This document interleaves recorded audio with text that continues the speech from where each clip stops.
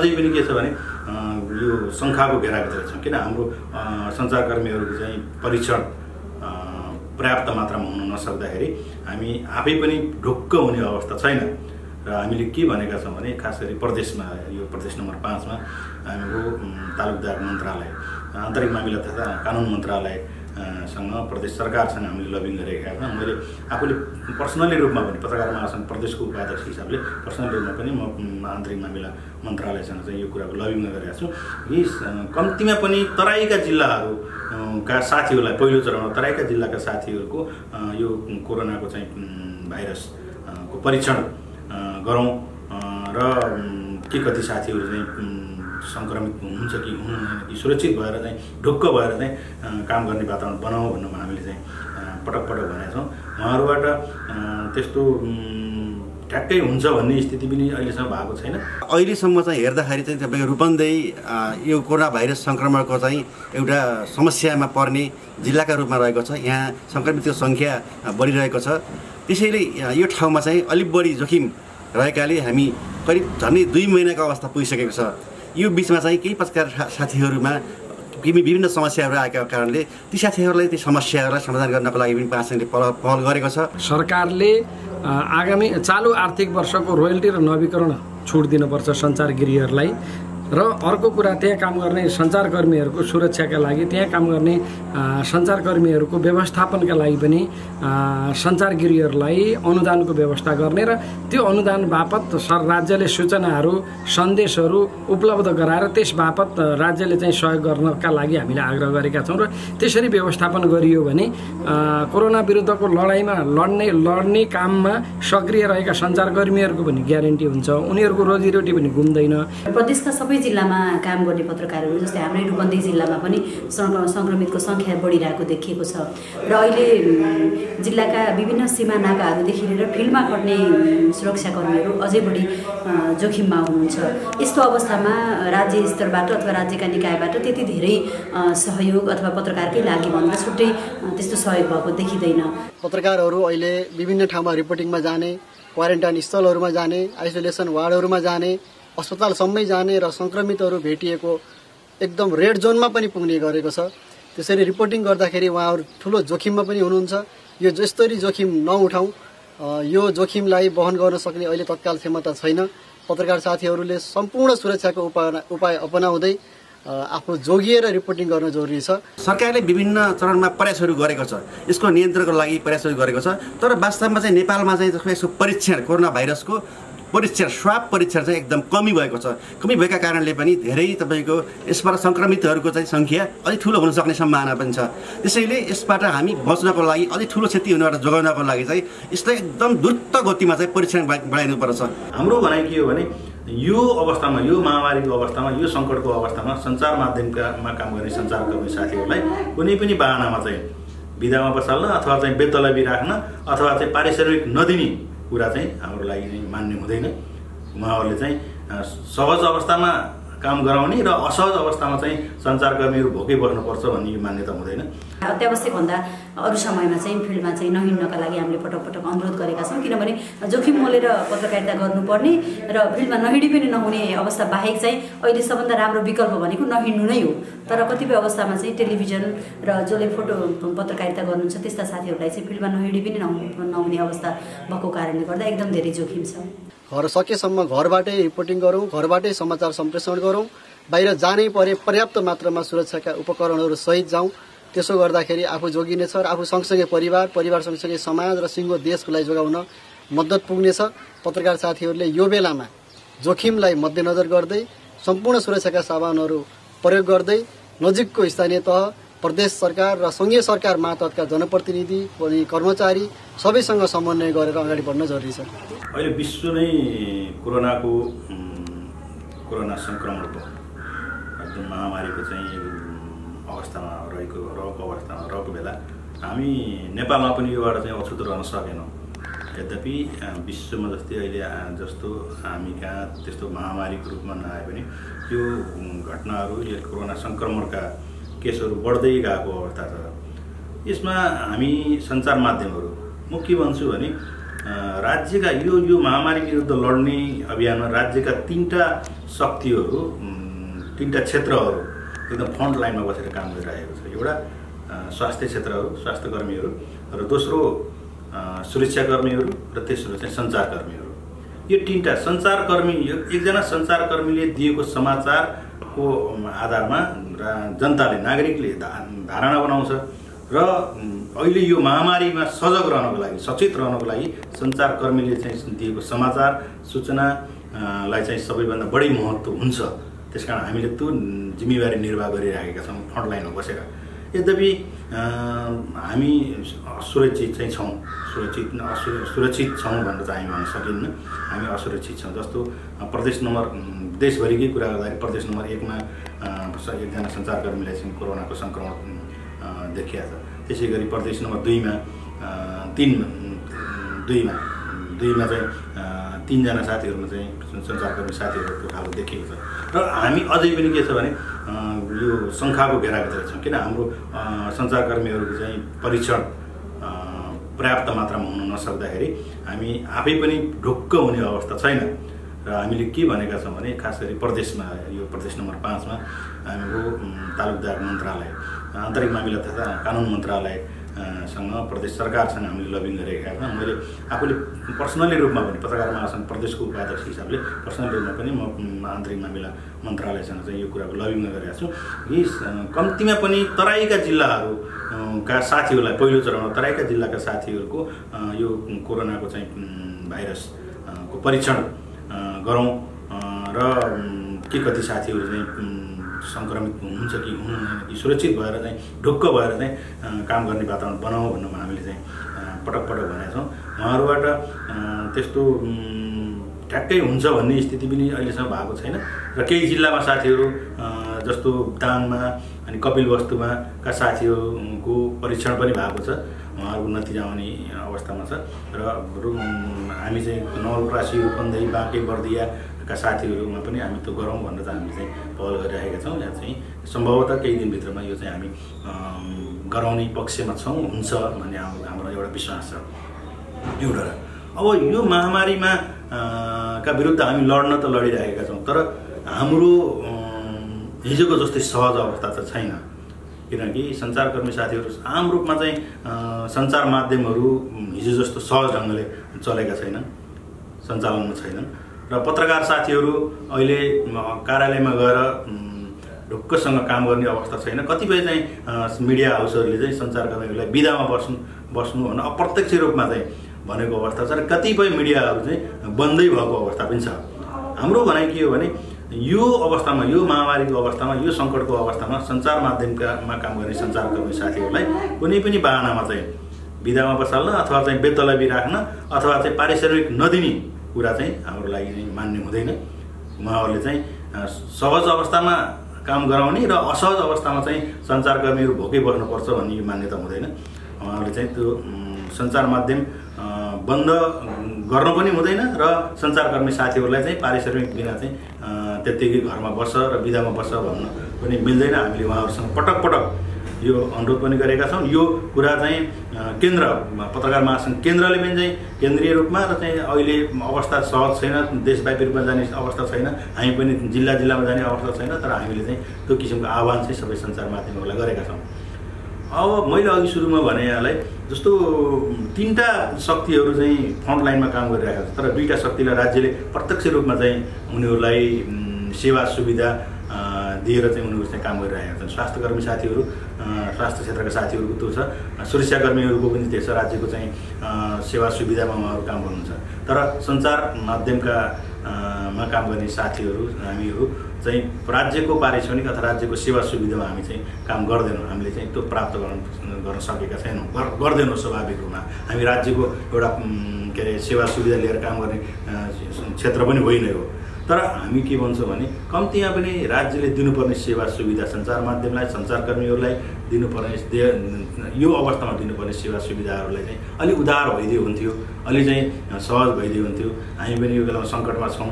त्यस कारण सङ्कटको बेलामा चाहिँ सञ्चार माध्यमले खेलेको भूमिकालाई सकारात्मक ढङ्गले बुझेर लिएर चाहिँ उहाँहरूले पनि सञ्चार माध्यमलाई चाहिँ चलिराख्न सक्ने स्थिति अथवा सञ्चारकर्मी साथीहरूलाई चाहिँ चल्ने स्थिति चाहिँ सिर्जना गरिदिए हुन्थ्यो भनेर हामीले उहाँहरूसँग धेरै पटक पटक पटक प्रदेश सरकार होस् अथवा चाहिँ केन्द्रीय सरकार होस् अथवा चाहिँ स्थानीय त तहका सरकारहरूसँग हामीले चाहिँ पटक पटक उहाँहरूसँग चाहिँ छलफल गरेका छौँ।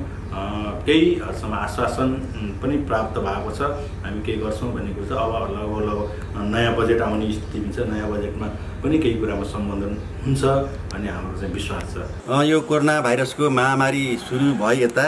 नेपाल पत्रकार महासङ्घ रूपन्देहीले यसको जोखिमबाट पत्रकार महासङ्घ रूपन्देहीका सदस्यहरू लगायतका सञ्चारकर्मीहरूलाई जोगाउनका लागि विभिन्न चरणमा हामीले चाहिँ सुरक्षाका सामग्रीहरू वितरण गरेका छौँ अहिले हामीले करिब तिन चार चरणमा चाहिँ हामी सुरक्षा सामग्री वितरण गरिसकेका छौँ र यस बिचमा हामीले पत्रकार साथीहरूलाई सकेसम्म जोखिमयुक्त क्षेत्रमा नजानको लागि हामी आग्रह गरिरहेका छौँ र अहिलेसम्म चाहिँ हेर्दाखेरि चाहिँ तपाईँको रूपन्देही यो कोरोना भाइरस सङ्क्रमणको चाहिँ एउटा समस्यामा पर्ने जिल्लाका रूपमा रहेको छ। यहाँ सङ्क्रमितको सङ्ख्या बढिरहेको छ। त्यसैले यो ठाउँमा चाहिँ अलिक बढी जोखिम रहेकाले हामी करिब झन्डै दुई महिनाको अवस्था पुगिसकेको छ। यो बिचमा चाहिँ केही पत्रकार साथीहरूमा विभिन्न समस्याहरू आएका कारणले ती साथीहरूलाई ती समस्याहरूलाई समाधान गर्नको लागि पनि पासङले पहल पहल गरेको छ। र अहिले जुन कोरोना भाइरसको समस्या देखिरहेको छ यसको मुख्य बस्ने उपाय भनेको घरभित्र नै बस्ने हो। हामी लखर लखर बाटामा डुल्ने अनावश्यक रूपमा हिँड्ने यो तपाईँ चाहिँ बन्द गरिदिनु पर्दो छ कम्तीमा पनि अनावश्यक ठाउँमा तपाईँको नजाने भिडभाडमा नजाने सामाजिक दूरी कायम गरेर बस्ने यी चाहिँ तपाईँको हाम्रो आधारभूत नियमहरू हुन्। आधारभूत यी सूत्रहरू हुन् यसबाट बस्ने उपायहरू हुन्। र यी उपायहरूलाई सबैले पालन गरिदिनुपर्छ पत्रकारले पनि यी उपायलाई पालन गरिदिनुपर्छ। हामीले सेनिटाइजरको प्रयोग गरिदिनुपर्छ। बारम्बार तपाईँको चाहिँ एउटा साबुन पानीले हात धुने गर्नुपर्छ मास्कको प्रयोग गरिदिनुपर्छ। यो हामी सबै सञ्चारकर्मीहरूलाई यो ढङ्गको चाहिँ भनेका छौँ र यसको सामग्रीहरू पनि हामीले जो साथीहरू खटिनु भएको छ फिल्डमा खटिनु भएको छ ती साथीहरूलाई प्रायः सबैले तपाईँको यस्तो सामग्रीहरू प्राप्त गरिसक्नु भएको छ।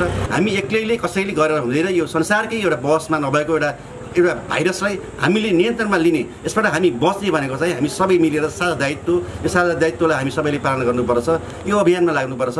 हामी सबैको यो दायित्वलाई एउटा राज्यको दायित्व ठानेर यो सरकारको मात्र दायित्व होइन यो आम नागरिक सरकार सबै मिलेर चाहिँ अहिले चाहिँ नियन्त्रण गर्न सम्भव छ। हामी यसबाट बच्न सम्भव छ। यसको लागि चाहिँ हामी सबै लाग्यौँ भन्ने मेरो हार्दिक आग्रह पनि छ। सरकारले सरकारले विभिन्न चरणमा प्रयासहरू गरेको छ। यसको नियन्त्रणको लागि प्रयासहरू गरेको छ। तर वास्तवमा चाहिँ नेपालमा चाहिँ यसको परीक्षण कोरोना भाइरसको परीक्षण स्वाब परीक्षण चाहिँ एकदम कमी भएको छ। कमी भएका कारणले पनि धेरै तपाईँको यसबाट सङ्क्रमितहरूको चाहिँ सङ्ख्या अलिक ठुलो हुन सक्ने सम्भावना पनि छ। त्यसैले यसबाट हामी बच्नको लागि अलिक ठुलो क्षति हुनबाट जोगाउनको लागि चाहिँ यसलाई एकदम द्रुत गतिमा चाहिँ परीक्षण बढा- बढाइदिनुपर्छ यसको आरडिटी टेस्ट पनि गरिदिनुपर्छ। सँगसँगै यसको पिसिआर टेस्टलाई अझ बढी बढाइदिनुपर्छ। जो भरपर्दो टेस्ट हो। त्यस कारण चाहिँ अहिले यसको नियन्त्रणको लागि चाहिँ जुन ढङ्गले अहिलेसम्म आएको चाहिँ तपाईँको परीक्षण भएको छ। यो परीक्षण पर्याप्त छैन। यसलाई अत्यन्तै वृद्धि गरेर यसलाई तपाईँको सयमा होइन हजारौँमा तपाईँको वृद्धि गरेर मात्रै यसको नियन्त्रण सम्भव छ। यसको तर्फ चाहिँ सरकार लाग्नुपर्छ अहिलेसम्म लिएका पहलहरू राम्रा छन् तर यी अपुग छन् पर्याप्त छैनन्। त्यसलाई पर्याप्त बनाउनको लागि सरकार लाग्नुपर्छ भन्ने भनिरहेको छु। खास पत्रकारको सन्दर्भको कुरा गरेको मैले पत्रकारलाई सरकारले चाहिँ कुन तरिकाले कसरी हेरिराखेको छ यो अहिलेको सन्दर्भमा वास्तवमा यो सिङ्गो देश नै एउटा खालको सङ्कटमा छ। र पत्रकारकै लागि विशेष प्याकेज अथवा नागरिकका लागि विशेष प्याकेज भन्ने कुराको चाहिँ तपाईँको त्योभन्दा पनि सरकारले अहिले तपाईँको मिडिया हाउसहरूलाई कसरी बचाउने जो चलिरहेका छन् ती मिडिया हाउसहरूलाई कसरी बचाउने भन्ने कुराको कुनै न कुनै ढङ्गले राहतको तपाईँको प्याकेज चाहिँ ल्याउनु पर्दछ। किनकि मिडिया हाउस बस्ने पत्रकारहरू बस्ने पत्रकारहरूको लागि पनि अब तपाईँको जस्तो खालको राहतका प्याकेजहरूलाई ल्याउनु पर्छ त्यो त्यो प्याकेजहरू ल्याइएको छैन। सञ्चार माध्यम तपाईँको सूचनाविहीन भयो भने नागरिक झन् बढी तपाईँको सडकमा आउने झन् बढी भिडमा आउने जानकारीविहीन हुँदा झन् क्षति हुनसक्छ त्यसैले सञ्चार माध्यमहरूलाई बचाउने गरी चाहिँ तपाईँको यो सरकारको चाहिँ भूमिका हुनुपर्छ त्यो खालको व्यवस्था गर्नुपर्छ भन्ने मलाई लाग्दछ। फिल्डमा जाँदाखेरि हामीले सुरक्षाका सम्पूर्ण उपायहरू अवलम्बन गर्नुपर्छ। किनकि कोरोना भाइरस तपाईँको व्यक्तिलाई देखेर कोही तपाईँको जग्गामा मान्छे देखेर त्यो थाहा पाउने चिज होइन। हामीसँग विभिन्न अहिले अत्याधुनिक सञ्चारका माध्यमहरू छन् ती माध्यमहरूलाई प्रयोग गरेर हामीले चाहिँ सूचना सङ्कलन गर्न सक्छौँ यदि जानै पर्छ भने पनि हामीले त्यस्ता चाहिँ के अरे सुरक्षाका सामग्रीहरू अपनाएर हामी सतर्कता अपनाएर मात्रै ती ठाउँहरूमा जाने आउने गर्नुपर्छ। पत्रकारहरूले पनि यसमा होस पुऱ्याउनुपर्छ। किनकि कोरोना भाइरसले न पत्रकारलाई चिन्छ न डाक्टरलाई चिन्छ न वकिल कसैलाई चिन्दैन। त्यसैले यसबाट बच्नको लागि चाहिँ हाम्रो सुरक्षा सतर्कता नै प्रमुख कुरा हो। रूपन्देहीका सम्पूर्ण पत्रकारहरूलाई के भन्न चाहनुहुन्छ? रूपन्देहीका पत्रकार साथीहरू जो फिल्डमा खटिरहनु भएको छ अत्यन्तै सरकारका साथ हामीले चाहिँ तपाईँको यसलाई सुरक्षाका उपायहरू अपनाएर मात्रै हामी फिल्डमा जाउँ जानै पर्ने अवस्थामा मात्रै फिल्डमा जाउँ। सकभर तपाईँले हामीले घरमै बसेर सूचनाका अहिलेका प्रविधिहरूलाई प्रयोग गरेर हामीले तपाईँको सूचना सङ्कलन गरौँ। समाचारका विभिन्न आयामहरू चाहिँ हामीले अहिले पनि सङ्कलन गरिरहेका छौँ। हामीले काम गरिरहेका छौँ तर हामीले अहिले हामी पहिले जस्तो गरेर हामी प्रेस लेखेर हामी चाहिँ पत्रकार हौँ है भनेर हिँडिहाल्ने तपाईँको अवस्था छैन त्यस्तो नगरौँ। पत्रकार भनेर तपाईँको चाहिँ गरेर जुन ढङ्गले हामी लखर लखर हिँड्ने अवस्थाबाट हामी चाहिँ भागौँ कम्तीमा पनि हामीले सत अपनाउँ। र जुन जोखिम क्षेत्रमा जानै पर्दछ जो तपाईँ मुख्य गरी तपाईँ चाहिँ गएर टिभीका क्यामेराम्यान साथीहरू जानुपर्छ। उहाँहरूले चाहिँ सूचनाका के अरे सुरक्षाका प्रविधिहरू पूर्ण रूपमा अवलम्बन गरेर सतर्कता अप्नाएर मात्रै जानु हुन म विशेष आग्रह गर्दछु। चैत दस गतेदेखिको लकडाउनका कारण मुलुक समस्यामा छ। मुलुकसँगै नेपालमा रहेका सञ्चार माध्यमहरू सङ्कटमा परेका छन्। अहिले सञ्चार माध्यममा काम गर्ने सञ्चारकर्मीहरूको अवस्था अत्यन्त जटिल छ। कारण के हो भने सञ्चार माध्यममा चलिरहेका विज्ञापनहरू समेत बन्द भएका छन्। सञ्चारगिरीहरूले उनीहरूलाई ती विज्ञापनहरू बापत पाउनुपर्ने विज्ञापनदाताहरूले चलिरहेका विज्ञापनहरू रोकेका छन् भने चलिरहेका विज्ञापनहरूबाट पाउनुपर्ने भुक्तानी समेत सञ्चार माध्यमहरूले नपाउँदा त्यहाँ कार्यरत सञ्चारकर्मीहरूले समेत तलब पाउन नसकेको अवस्था छ। तसर्थ अब यो सञ्चार माध्यमहरूलाई दुईवटा कुरा हामीले केही दिन अगाडि सञ्चार मन्त्रालय यहाँको आन्तरिक आन्तरिक मामिला तथा कानुन मन्त्रालय र प्रदेश पाँचका मुख्यमन्त्रीज्यूलाई समेत हामीले ध्यानकर्षण पत्र पनि बुझाएका छौँ। हामीले के भनेका छौँ भने सरकारले आगामी चालु आर्थिक वर्षको रोयल्टी र नवीकरण छुट दिनुपर्छ सञ्चारगिरीहरूलाई। र अर्को कुरा त्यहाँ काम गर्ने सञ्चारकर्मीहरूको सुरक्षाका लागि त्यहाँ काम गर्ने सञ्चारकर्मीहरूको व्यवस्थापनका लागि पनि सञ्चारगिरीहरूलाई अनुदानको व्यवस्था गर्ने र त्यो अनुदान बापत सर राज्यले सूचनाहरू सन्देशहरू उपलब्ध गराएर त्यस बापत राज्यले चाहिँ सहयोग गर्नका लागि हामीले आग्रह गरेका छौँ र त्यसरी व्यवस्थापन गरियो भने कोरोना विरुद्धको लडाइँमा लड्ने लड्ने काममा सक्रिय रहेका सञ्चारकर्मीहरूको पनि ग्यारेन्टी हुन्छ उनीहरूको रोजीरोटी पनि घुम्दैन सञ्चार माध्यमहरूले पनि हटाउनु पर्ने जिम्मेवारीबाट हटाउनु पर्ने अवस्था रहन्न। अहिले त अब चल्न नसकेको अवस्थामा सञ्चार माध्यमहरूले कर्मचारीहरूलाई बिदा दिनुपर्ने अवस्था पत्रकारहरू रोजगारविहीन बन्नुपर्ने अवस्था सिर्जना भएको छ। त्यसतर्फ राज्यको ध्यान जानुपर्छ भन्ने हाम्रो भनाइ हो र मेरो पनि त्यही हो। र संस्थागत हिसाबले हामीले एलायन्स फर कम्युनिटी मिडियाको तर्फबाट सङ्घीय सञ्चार मन्त्रालय सूचना तथा सञ्चार प्रविधि मन्त्रालयमा समेत हामीले यो ज्ञापन ध्यानकर्षण पत्र बुझाएका छौँ। अहिले कोरोना भाइरसको महामारीका कारण जुन फ्रन्टलाइनमा काम गर्ने पत्रकारहरू सबैभन्दा बढी जोखिममा देखिन्छन्। किनभने यसभन्दा अगाडि प्रदेश नम्बर पाँचमा त्यति कोरोना भाइरस सङ्क्रमितहरू त्यति देखिएका थिएनन् तर पछिल्लो समयमा यसको सङ्ख्या एकदमै धेरै बढ्दै गएको छ। र प्रदेशका सबै जिल्लामा काम गर्ने पत्रकारहरू जस्तै हाम्रै रूपन्देही जिल्लामा पनि सङ्क्रमितको सङ्ख्या बढिरहेको देखिएको छ। र अहिले जिल्लाका विभिन्न सीमा नाकाहरूदेखि लिएर फिल्डमा खट्ने सुरक्षाकर्मीहरू अझै बढी जोखिममा हुनुहुन्छ। यस्तो अवस्थामा राज्य स्तरबाट अथवा राज्यका निकायबाट त्यति धेरै सहयोग अथवा पत्रकारकै लागि भन्दा छुट्टै त्यस्तो सहयोग भएको देखिँदैन। तर पनि पत्रकार महासङ्घले नै केही पहल गरेर पत्रकारहरूलाई सामान्यतया सुरक्षा सामग्रीहरू वितरण गरेको छ। तर राज्यले सरकारले सरकारका निकायहरूले चाहिँ फ्रन्टलाइनमा काम गर्ने पत्रकारहरू जोखिममा छन्। यिनीहरूलाई हाम्रो हाम्रो तर्फबाट केही गर्नुपर्छ भन्ने एउटा खालको उहाँहरूमा त्यो अनुभूति उहाँहरूलाई चाहिँ त्यो खालको एउटा सोच सोच चाहिँ अहिलेसम्म विकसित हुन सकेको छैन। र जिल्लाको हकमा कुरा गर्दा पत्रकार महासङ्घ रूपन्देहीले यहाँका केही संस्थाहरूसँग सहकारी गरेर पत्रकारहरूलाई चाहिँ सुरक्षा सामग्रीहरू उपलब्ध गराउने उहाँहरूलाई चाहिँ सचेत गराउने खास गरी फिल्डमै खट्ने भन्दा पनि आवश्यकभन्दा आवश्यकताभन्दा बाहिर चाहिँ आवश्यकताभन्दा अत्यावश्यकभन्दा अरू समयमा चाहिँ फिल्डमा चाहिँ नहिँड्नका लागि हामीले पटक पटक अनुरोध गरेका छौँ किनभने जोखिम मोलेर पत्रकारिता गर्नुपर्ने र फिल्डमा नहिँडी पनि नहुने अवस्था बाहेक चाहिँ अहिले सबभन्दा राम्रो विकल्प भनेको नहिँड्नु नै हो। तर कतिपय अवस्थामा चाहिँ टेलिभिजन र जसले फोटो पत्रकारिता गर्नुहुन्छ त्यस्ता साथीहरूलाई चाहिँ फिल्डमा नहिँडी पनि नहुने अवस्था भएको कारणले गर्दा एकदम धेरै जोखिम छ। कोरोना भाइरसको यो विश्वव्यापी महामारीको असर नेपालमा पनि परिरहेको छ। एक खालको सन्तास पनि बढेको छ।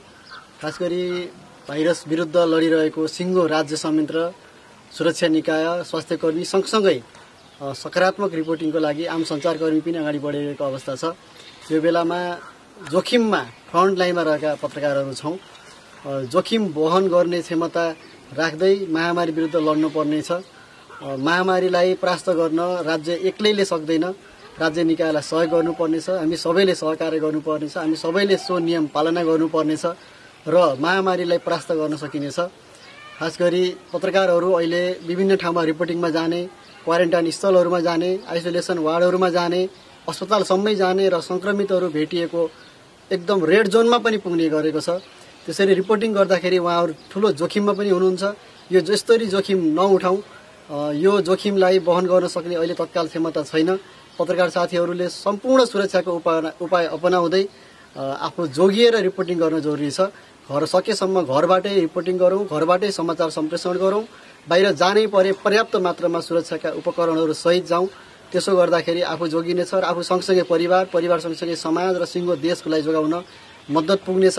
पत्रकार साथीहरूले यो बेलामा जोखिमलाई मध्यनजर गर्दै सम्पूर्ण सुरक्षाका सामानहरू प्रयोग गर्दै नजिकको स्थानीय तह प्रदेश सरकार र सङ्घीय सरकार मातहतका जनप्रतिनिधि अनि कर्मचारी सबैसँग समन्वय गरेर अगाडि बढ्न जरुरी छ।